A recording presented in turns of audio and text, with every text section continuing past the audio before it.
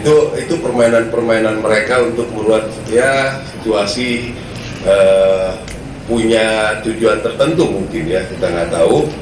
Tapi kalau dia bilang ada sesuatu hal ya kita akan tindak lanjuti. Kalau misalnya kami keberatan kami bisa bilang. Tapi kalau sekarang dengan kata-kata dugaan itu kan menurut saya itu eh, pernyataan-pernyataan apa bisa dikatakan nggak nggak bernyali ya. Topik ini sebetulnya bukan topik yang apa ya istilahnya itu ilusi bukan. Memang ini didasarkan pada kejadian fenomena yang konkret ada saat ini yang dirasakan. Buktinya banyak banget gitu ya kampus-kampus ini sedang mempertontonkan atau menyampaikan keprihatinannya. Tolong didengar sangat serius. Tidak ada partisansip, tidak ada dukung-mendukung kita. Silakan ditemukan di mana pun kita mendukung siapa, tidak ada. Tentang kebebasan, hak-hak demokrasi yang dimiliki oleh rakyat. Di kampus misalnya harus ada kebebasan akademis dan kebebasan member akademis. Tidak boleh misalnya para guru besar menyatakan pandangan akademis ilmiahnya lalu diteror dioperasi dengan operasi-operasi lain untuk menakut-nakuti para guru besar untuk menyatakan pendapatnya. Tidak boleh. Baru-baru ini, beredar jejak digital bahwa ketiga pakar hukum tata negara yaitu Zainal Arifin Mohtar, Ferry Amsari dan Bivitri Susanti yang terlibat dalam film Dirty Vote adalah timnya Mahfud MD. Temuan ini menguatkan dugaan publik bahwa Mahfud MD ada di balik skenario film tersebut. Namun kecurigaan tersebut dibantah oleh Mahfud MD yang mengaku tidak pernah bertemu dengan para tokoh ini sejak pemilu, tentu publik tak segampang itu langsung percaya dengan Mahfud, karena tanpa bertemu pun semua orang bisa melakukan gerakan jika ada perencanaan. Untuk itu, pendukung istana meminta Mahfud MD dan para tokoh ini harus diusut sesudah pemilu, karena diduga sudah membuat kegaduhan. Bila perlu peneliti Brin Siti Zuhro juga harus diusut, karena sering kali membuat pernyataan, provokasi, yang menyudutkan satu pihak tanpa bersikap netral dalam memberikan penilaian. Demokrasi yang berkualitas tidak semestinya menumbuhkan oligarki, apalagi dinasti politik. Jadi itu distorsi, aneh gitu. Dengan menguatnya oligarki dan dinasti politik berarti demokrasi Indonesia tidak mengedepankan prinsip dari rakyat oleh rakyat untuk rakyat. Tadi itu juga dikuatkan oleh temuan yang disampaikan oleh Mas Ferry Amsari ya bahwa dia sudah di penghujung selesai melakukan studinya dan ditemukan beberapa tentu gitu ya eh, pelanggaran-pelanggaran baik etika maupun hukum di situ. Tadi kan sudah disebutkan seperti itu kita sebagai peneliti, saya peneliti ya, uh, ikutlah dalam beberapa perdebatan yang uh, membahas juga masalah etika, pelanggaran etika, lalu bagaimana uh, posisi atau positioning seorang pejabat publik uh, yang ada memimpin birokrasi dan sebagainya gitu kan. Memang di uh, pemerintahan Indonesia itu belum memiliki ini ada Prof Nurdiah Nurdin ya, belum memiliki undang-undang uh, tentang uh, etika pemerintahan gitu ya. Yang ini yang harusnya memang kita punya uh, kalau tidak salah itu TAP MPR ya tentang uh, KKN itu kan penyelenggara negara itu. Uh, tapi kan itu juga harus diturunkan dalam bentuk undang-undang untuk pemerintahan kita. Kita ini sedang terobsesi untuk menjadikan birokrasi kita berkelas dunia, tapi tidak diikuti oleh uh, ikhtiar konkret untuk menjadikan itu secara utuh kan gitu. Lah, nestapanya birokrasi itu setiap pilkada dan pemilu itu ditarik-tarik ke kepentingan politik praktis jangka pendek kan itu. Nah, ini apalagi um, berbicara tentang bagaimana pucuk pimpinan birokrasi gitu ya, entah di kementerian maupun lembaga itu satu contoh gitu. Apakah etis, apakah dibolehkan gitu uh, untuk ikut serta dukung mendukung, turun sebagai tim sukses pemenangan gitu kan? Nah, padahal dalam teorinya ketika siapa pun itu memimpin uh, di kementerian maupun lembaga, pimpinan pucuk tertinggi di birokrasi, maka politiknya N, gitu ya. Dia administrasi begins gitu ya, dia sudah memimpin di above all kan gitu.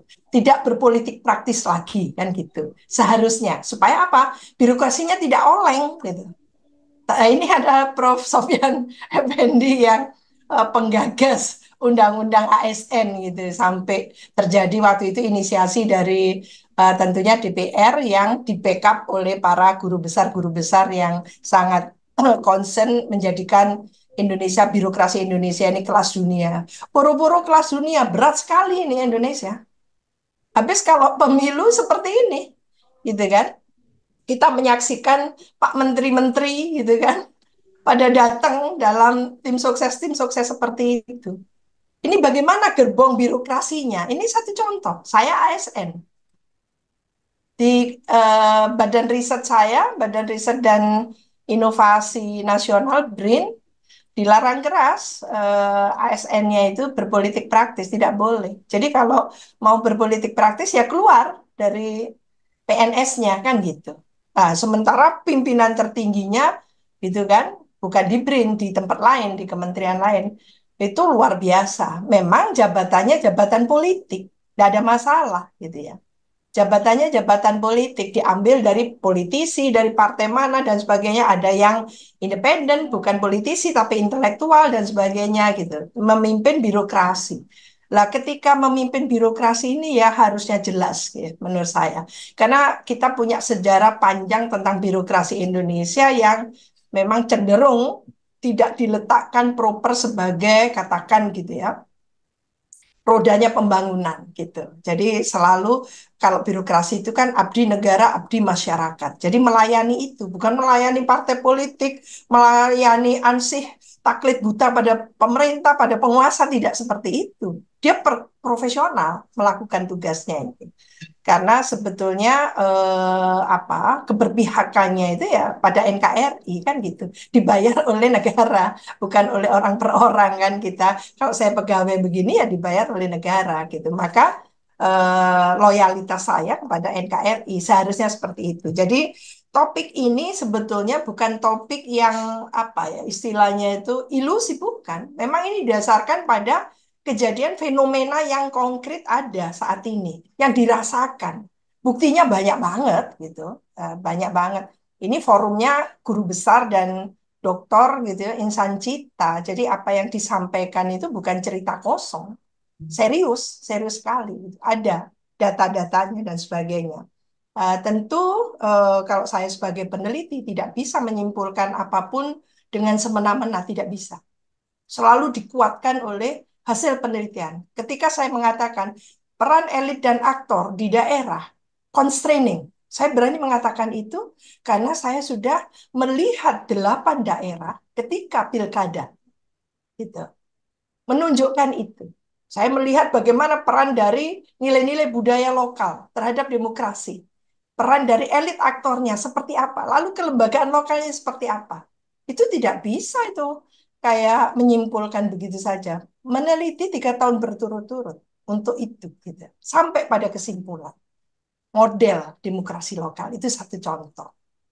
Jadi apa yang kita bahas di sini betul-betul adalah ekspresi kita sebagai intelektual penanggung jawab moral sebetulnya apalagi saya sebagai ilmuwan politik ya pemerintahan yang betul-betul concern dengan uh, apa yang terjadi saat ini Nah, ini antara lain, jadi uh, tentunya apa yang akan kita lakukan? Tadi ya mahasiswa tanyanya bagus sekali.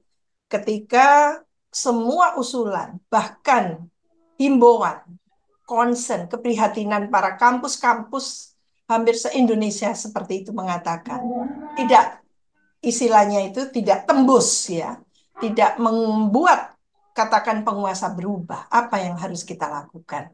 Tentu kita tidak ingin melakukan sesuatu yang mengulang lagi gerakan-gerakan seperti reformasi 98 karena serius sekali dampaknya gitu ya. Kita akan mengalami mundur. Tapi tolong didengarlah. Ini sistemnya demokrasi. Kalau 98 memang otoritarian. Di bawah kepemimpinan Pak Harto waktu itu otoritarian, bukan demokrasi. Kita sudah jengah dengan sistem otoritarian. Kita ingin melakukan sistem yang rakyat itu dihargai, dihormati, memiliki kedaulatan, maka kita percaya bahwa demokrasi ala Indonesia yang kita bangun ini akan membangun peradaban kan itu. Nah, saat ini kita demokrasi. Maka kalau disimpangkan, apalagi demokrasinya partisipatoris, inilah hak rakyat untuk mengatakan. Untuk mengatakan bahwa you are not on the right track, Pak, gitu. Kita harus katakan. Karena ini demokrasi partisipatoris. Rakyat yang memilih, dari rakyat, oleh rakyat, untuk rakyat. Pilpres dipilih langsung oleh rakyat, bukan MPR RI yang dulunya mempunyai uh, apa duduk sebagai apa istilahnya itu uh, lembaga tertinggi negara. Tapi mulai 2004 dipilih langsung oleh rakyat. Uh, semestinya itu meletakkannya. Jadi rakyat itu sekarang sampai apa publik akademis gitu ya, kampus-kampus ini sedang mempertontonkan atau menyampaikan keprihatinannya. Tolong didengar sangat serius. Tidak ada partisansip, tidak ada dukung-mendukung kita.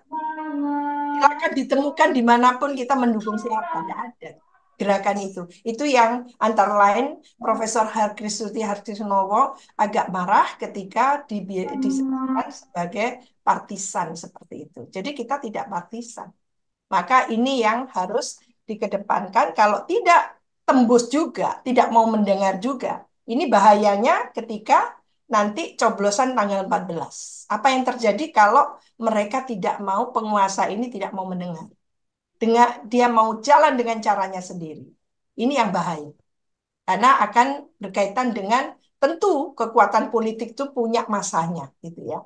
Nah, ini yang Mosi tidak percaya dari paslon-paslon yang merasa dirugikan. Kita kan tidak mau Indonesia chaos. Tapi warning itu yang harus kita lakukan secara intensif saat ini. Secara intensif. Dari kampus, dari mahasiswa. Indonesia merdeka bukan karena partai politik. Indonesia merdeka karena tentu konsen dari para intelektual waktu itu. Jadi peran intelektual luar biasa. Cerdik cendekia waktu itu. Maka ini yang harus kita ulangi kembali untuk mengingatkan gitu. Bahwa kita sedang tidak well on the right track, maka kita harus luruskan. Tolong penguasa dengar ini gitu ya. Kita sedang menjalankan sistem demokrasi di mana pemilu harus setara. Kompetisi kontestasi harus setara supaya sehat kan gitu. Ketika tidak sehat, maka tolong akan ada dampaknya yang sangat serius ketika paslon lain merasa dirugikan. Nah ini yang akan panjang sekali nanti ceritanya, tapi yang jelas kita simpulkan jangan sampai ada chaos hanya karena kita lengah. Kali ini kita harus turun gunung mengawal gitu ya semua tahapan pemilu kita dengan baik. Itu yang bisa kita lakukan tentunya secara maksimal. Terima kasih.